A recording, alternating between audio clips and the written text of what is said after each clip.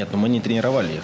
Это сто процентов, потому что мы надеялись, что наша команда победит, победит в основное время, но видите, какой матч был длинный, и, наверное, все эмоции были именно в эти 120 минут, да.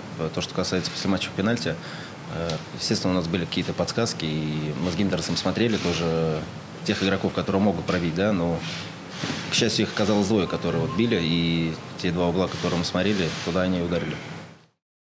You know, when you're younger, you just want to play football, and uh, sometimes in the era I lived in, you didn't have, you know, the goalposts, whatever, so you make your own and use your imagination, and I think that's, you know, it's one of the beautiful things about football. Um, and it's still the same now, you know.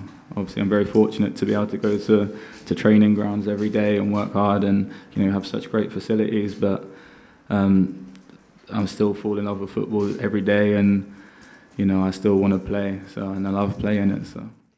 Ja, die Entscheidung ist ja nicht heute gefallen. Es war natürlich sicherlich ein paar Tage notwendig, um das Ganze einfach mal sacken zu lassen. Es war natürlich für uns alle Beteiligten, auch gerade auch für Yogi und mich, die diesen erfolgreichen Weg jetzt seit 14 Jahren gehen, gerade in der Nacht der Niederlage, besonders schwer. Äh, ich glaube, da denkt jeder, der so länger dabei ist, erstmal natürlich ans Aufhören. Aber ich habe eigentlich schon am nächsten Tag auch bei ihm und auch bei mir die Energie gespürt, dass wir äh, das so nicht beenden können und dass wir noch einiges zu sagen haben, dass wir auch äh, bereit sind, natürlich den neuen Weg zu gehen. Und äh, nachdem man auch ein paar Tage Zeit hatte, war ich gestern auch in Freiburg bei Yogi, haben länger zusammengesessen.